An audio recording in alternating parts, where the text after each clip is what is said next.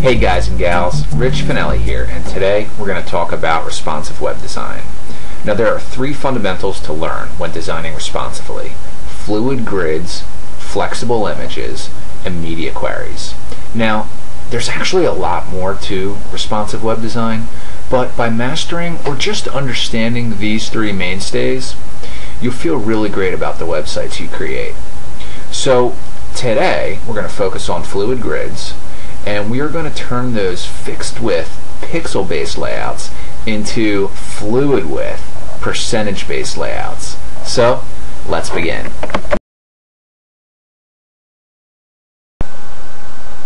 Here's a look at my fixed width 960 pixel layout. We can see as the browser window gets smaller or larger, the size of my content sections remain fixed.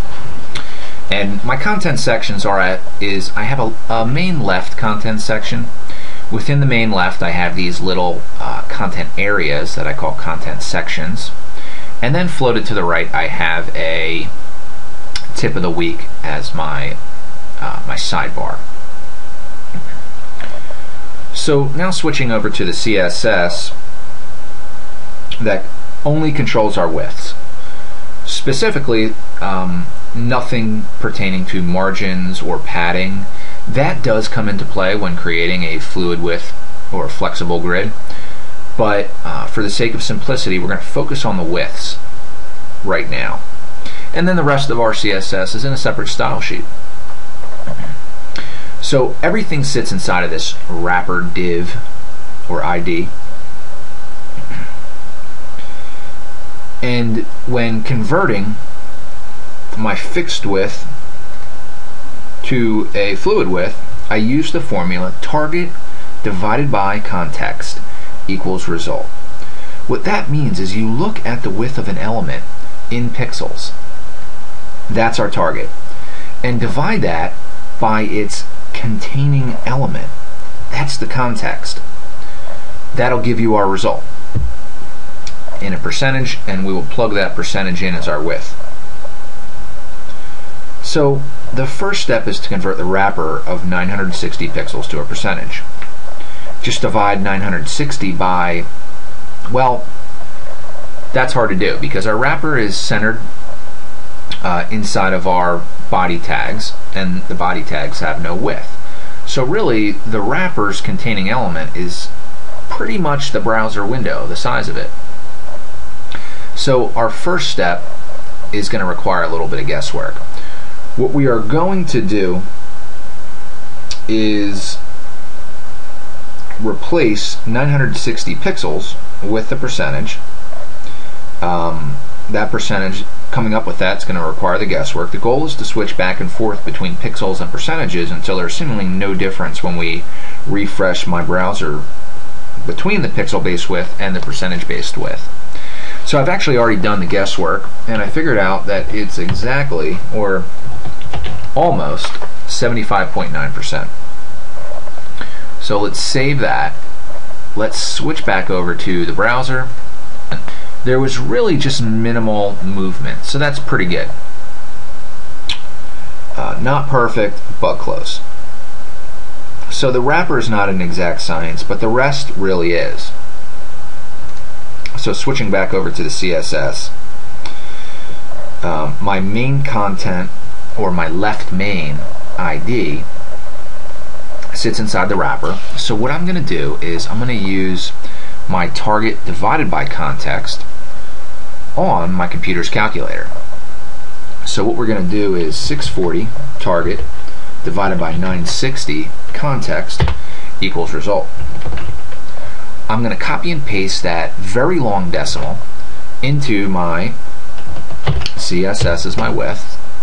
I'm going to move the decimal point over two places to make it a official percentage. And I'm not going to forget about this pixel-based width. Uh, what I've learned from Ethan Marcotte's book, really defining the subject of responsive web design, is to keep these formulas in a comment off to the right. And it really is helpful. It's going to be helpful just in just a moment when I actually have to use the same for formula on my content section because now I don't forget that okay this was 640 pixels and then if I ever have to change it change these widths in the future I know how I arrived at the percentages. So back to my computer's calculator. Target divided by context. We're going to do uh, a 530 pixels divided by the context, which, since our content section sits inside of the left main div, my context has changed. It's no longer 960 pixels, it is 640 pixels, which equals a little bit more manageable percentage. Can't forget to move the decimal point over to the right and keep my formula off into a comment to the right.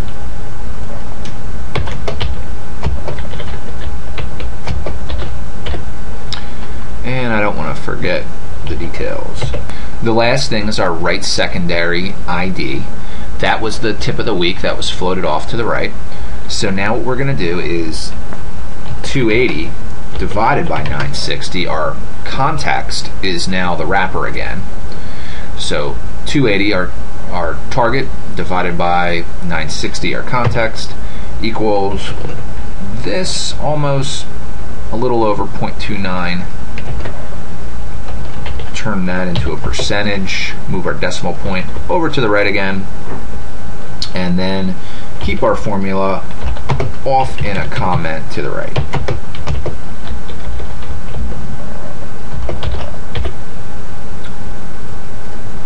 So far, so good.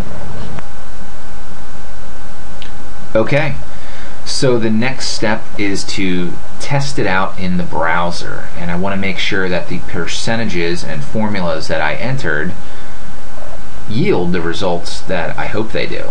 So refresh the page, and that was a good sign. Nothing really changed. And as I resize the browser window, we get a nice adaptable grid that goes with the flow as the size of my browser window is modified. I would expect similar outcomes when this website is presented on larger and smaller monitors. Wait a second. The page title, which is actually an image, is acting independently of our fluid grid. It wants to be an individual. I guess I can't blame it for that. But it's really disobeying our fluid grid. Hmm, does this make a perfect segue into our next video tutorial on responsive image techniques or what? Well, that is all for this video. In our next video on responsive web design, yep, you guessed it, we'll be discovering flexible images.